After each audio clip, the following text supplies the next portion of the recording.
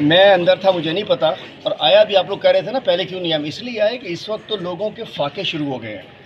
Unguided missile की तरह पाकिस्तान की आवाम रोडों के ऊपर है। सोलह रुपये वाली बिजली इक्यावन पे है और अब वो जाके अस्सी पे जानी चाह रही है।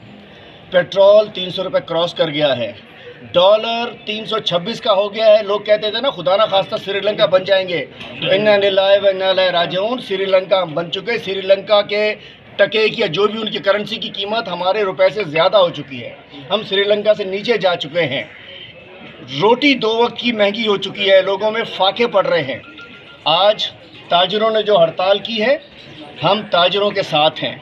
और ये के इलेक्ट्रिक जो बदमाशी कर रही है, ये ईस्ट इंडिया कंपनी बन चुकी है के इलेक्ट्रिक मैं कहना कहता हूँ कराची वालों पे बदमाशी बंद करो। के इलेक्ट्रिक ईस्ट इंडिया बन के कंपनी बन के, और वो लोगों को लूट रही है। पूरे पाकिस्तान में बिजली के बिल हम दे नहीं सकते। गैस के बिल हम दे नहीं सकते। और शमशाद अख्तर साहिबा जिनको लाए गए थे बड़ी कोई पता नहीं अखबानी मकबूलूक करके उन्होंने बयान दे के स्टॉक तबाह हो गई स्टॉक बर्बाद हो गई। पाकिस्तान की मीशत वो कह रही है कुछ पता नहीं डॉलर कहाँ जाए रुपए कहाँ जाए क्या हो? अल्लाह रहम करे मुझे पाकिस्तान की मीशत डूबती हुई लग रही है। आज मुझे खुदा न खास्ता जिस तरीके से भूख अफलास महँगाई है और ये हथकड़ियाँ ये हमने पाकिस्तान के आवाम के लिए पहनी है। हमें इसलिए इस वक्त में हम आवाम को नहीं छोड़ सकते थे। बाकी केसेस हैं जब पेट्रोल तीन सौ से ऊपर चला गया है मैं कहना चाहता हूँ अब आज लोग अपनी खुदकशियाँ कर रहे हैं। पेट्रोल महँगा रोटी महँगी दूध महँगा मुर्गी महँगी दाल महँगी इसके अंदर जो आए थे निगरान परेशान हुकूमत नाकाम हो चुकी है। आज पाकिस्तान का स्टॉक ख़त्म, सब कुछ ख़त्म। मैं कहना चाहता हूँ, तजर्बा नाकाम हो चुका।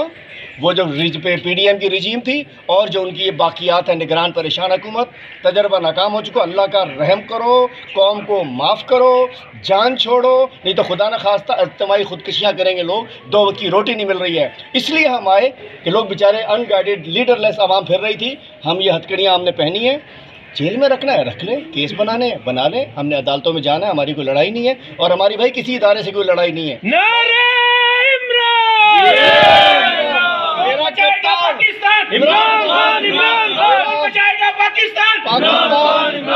पाकिस्तान! तहरीक इंसाफ का चेयरमैन मुहब वतन है। हम सब पाकिस्तान जिंदाबाद का नारा लगाते हैं। हम ये इदारे हमारे हैं ये फ़ौज हमारी है। हम समझते हैं कि मुल्क के लिए फ़ौज अहम है। तो कोई ना समझाए ये हरकतें पीपल्स पार्टी माफिया की बाकियात की हरकतें हैं।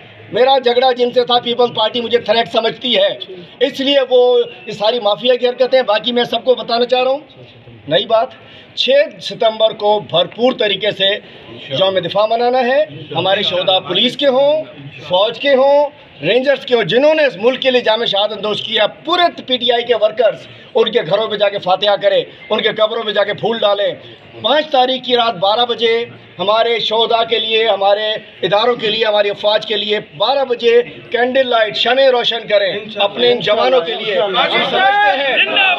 हम समझते हैं कि जब ये शोदा जब ये हमारी अफवाज, ये लोग जब सरहदों पे होते हैं, ये जागते हैं तो हम लोग सोते हैं तो हमारा कोई झगड़ा नहीं है।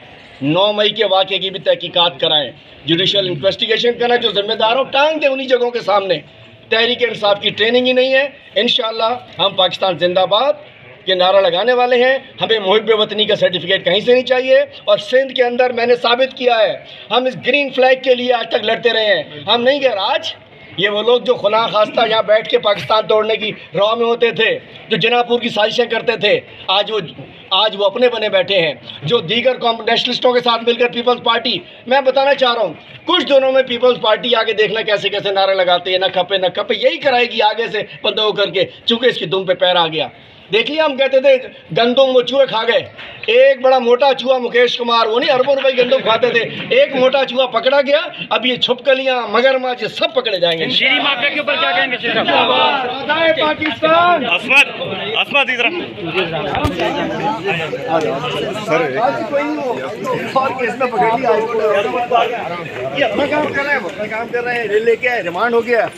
और जब सियासत में इंसान आता है तो ये थाने, पुलिस, जेल, कचहरी, ये चलती रहती है।